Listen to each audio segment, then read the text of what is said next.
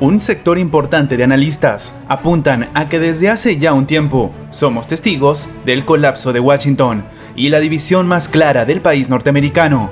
Y aunque muchos son escépticos ante estas afirmaciones, el día de hoy hemos podido ver el lado más tenso de Estados Unidos, su propia división, y es que los fantasmas de una guerra civil han empezado a resonar en las calles de la capital del país norteamericano antes de ver cómo una masa de manifestantes provoca que entre en receso el Congreso en pleno conteo de votos del colegio electoral y cómo incluso grupos armados planifican una preocupante acción en la zona, te invitamos a que te suscribas al canal si aún no lo estás y a que actives la campana de notificación. Trump se juega su última carta, ya que después de este miércoles, nada podrá impedirle a Biden posicionarse como nuevo presidente de su país el próximo 20 de enero.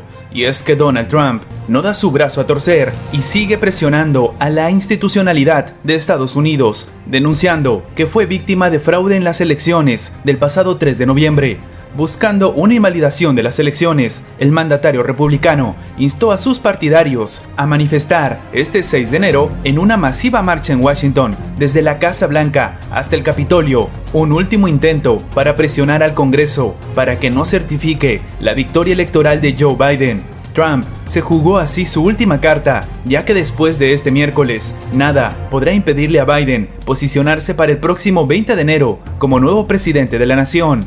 En el Capitolio se reunían las dos cámaras para abrir los sobres en los que los 50 estados notifican oficialmente el resultado de los comicios presidenciales.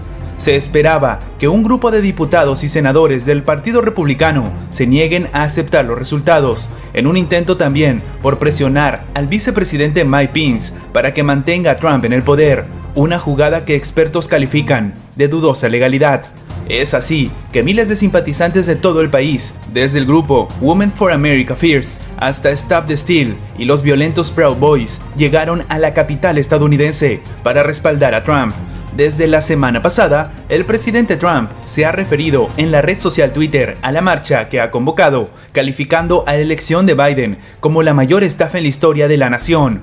Nos vemos en Washington, D.C. el 6 de enero, no se lo pierdan escribió Trump el fin de semana pasado. Pero estas manifestaciones generan temores en una nueva ola de violencia después de que, en las protestas anteriores a favor de Trump, el 12 de noviembre, que incluyó a los Proud Boys, varias personas resultaron apuñaladas y decenas arrestadas. Trump parece esperar que los manifestantes puedan presionar al Congreso para que se rechace el conteo final del colegio electoral y revierta su derrota.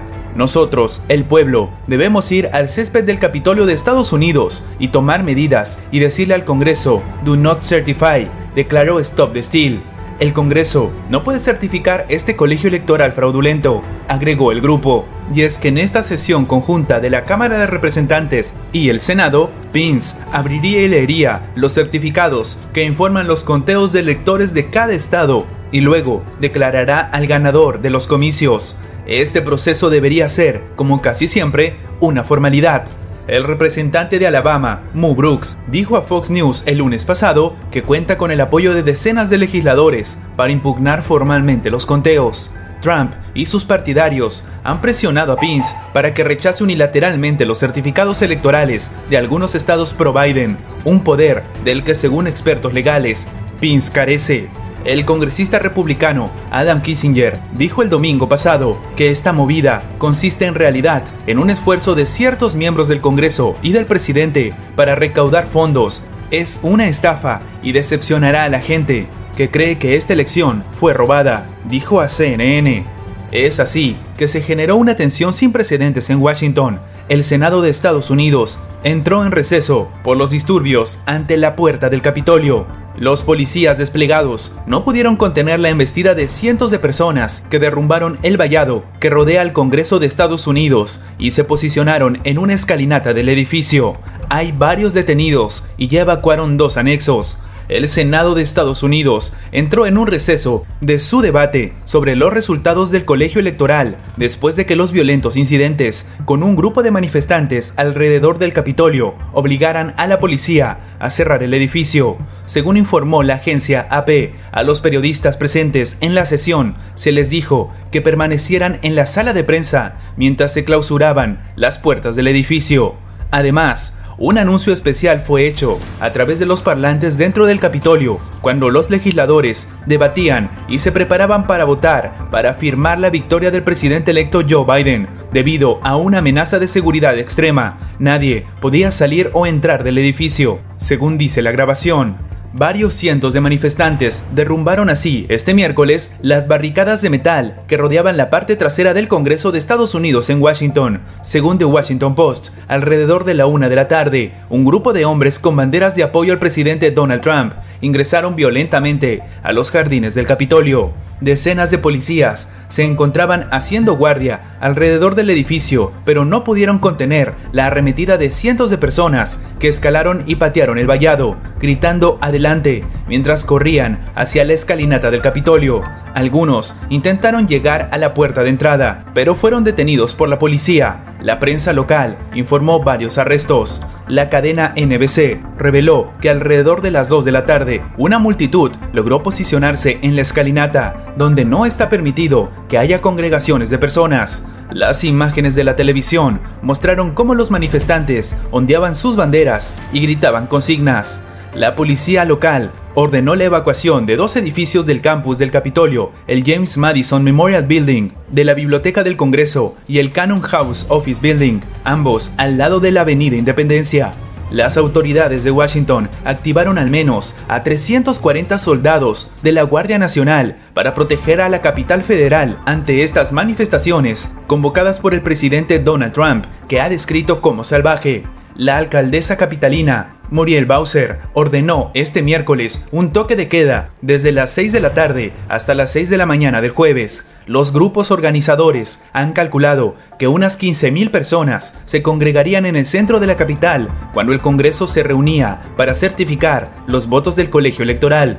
Diferentes facciones que son fieles a Trump se presentaron como organizadoras de la marcha en la capital y una de ellas, March for Trump, ha convocado a sus seguidores indicando que le toca a la ciudadanía estadounidense impedir el fraude electoral el Departamento de Justicia y las autoridades electorales de los estados, incluidos los que tienen gobierno republicano, han indicado que no hay evidencias de un fraude electoral generalizado y han reconocido los resultados que dieron a Biden más de 80 millones de votos frente a unos 74 millones de Donald Trump.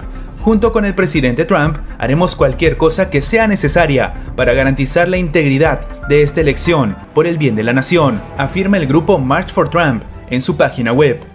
Por su parte, Million Maga March, que se proclama como organizador oficial de la manifestación, ha invitado a sus simpatizantes a tomar parte en el mayor acto político de Trump en la historia de Estados Unidos, con un mensaje en Twitter acompañado de símbolos con banderas del país, signos de admiración y una explosión.